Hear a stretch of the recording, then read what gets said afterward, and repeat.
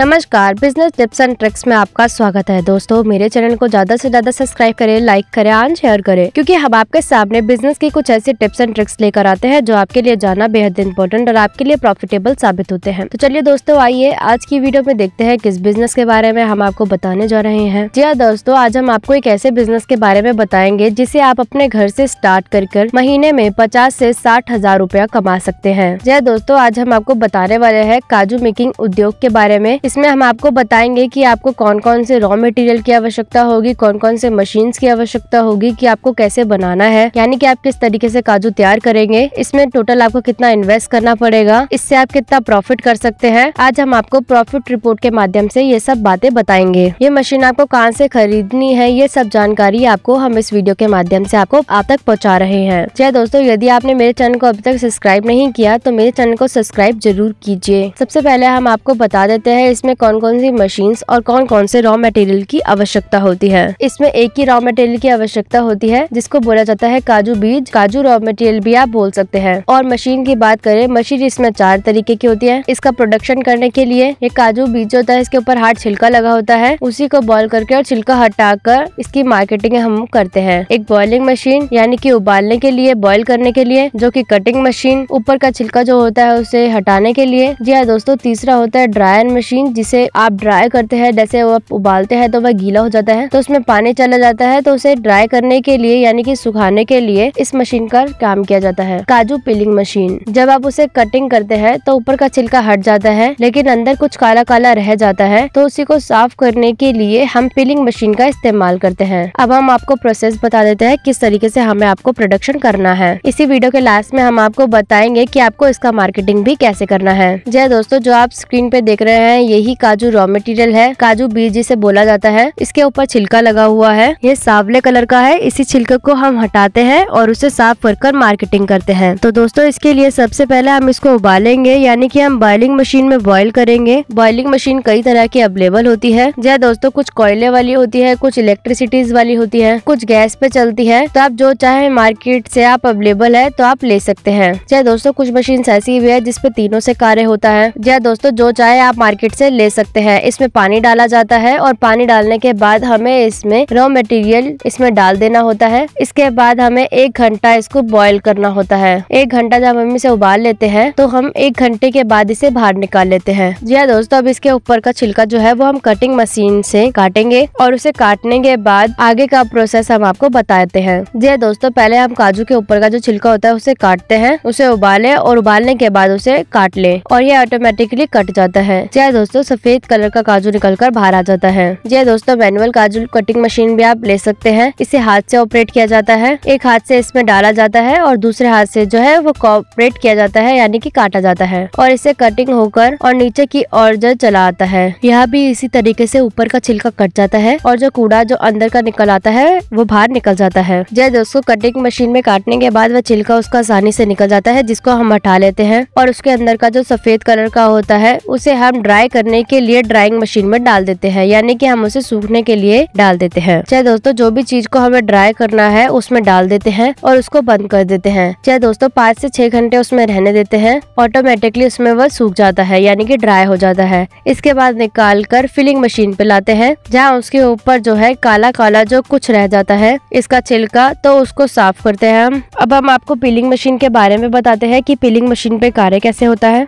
चाहे दोस्तों ऊपर ऊपर का काला काला जो होता है वह आसानी से उतर जाता है। जी हाँ दोस्तों, पिलिंग कर कर यह बिल्कुल सफ़ेद रंग की नज़र आ जाते हैं और यह काजू बिल्कुल साफ़ हो चुका है। अब चलिए दोस्तों, अब हम बात कर लेते हैं कि इसमें हमें कितना इन्वेस्ट करना पड़ेगा और इससे हम टोटल पूरा प्रॉफिट कितना कमा सकते हैं। जी हाँ दोस्तों, आपको हम प्रॉफिट रिपोर्ट के माध्यम से बता रहे हैं। जहाँ तक इन्वेस्टमेंट की बात है तो यदि आपके ऊपर डिपेंड करता है, आप किस तरीके का बिज़नेस आप करना चाहते हैं? यदि आप स्मॉल स्केल पर इस बिज़नेस को करना चाहते हैं तो लगभग आपका दो लाख रुपया इन्वेस्ट करना पड़ेगा। यदि आप इस बिज़नेस को बड़े स्केल पर स्टार्ट करना चाहते हैं तो लगभग आपको दस लाख रुपए इन्वेस्ट करने पड़ेंगे। जी हाँ दोस्तों, मैं आपको यही सलाह दूँगी, यदि आप नया बिज़नेस स्टार्ट करना चाहते हैं तो सबसे पहले आप छोटी यूनिट पर स्टार्ट करें, क्योंकि दोस्तों, यदि आप इन्वेस्टमेंट दो लाख की कर रहे हैं तो ऐसे ऐसे आपका बिज़नेस आगे बहुत चलेगा। तो आप ऐसे करते ही करते आप अपने बड़े स्केल पर भी बिज़नेस स्टार्ट कर सकते हैं। तो पहले आपको छोटे स्केल पर ही बिज़नेस स्टार्ट करना चाहिए, और बड़े स्केल पर बिज़नेस अपने आप आ जाते हैं। चलिए दोस्तों, अब हम आपको बता देते हैं प्रोजेक्ट रिपोर्ट के माध्यम से कि आपको कितना प्रॉफिट कमा सकते हैं। जी हाँ दोस्तों प्रोजेक्ट रिपोर्ट जो आप देख रहे हैं, वो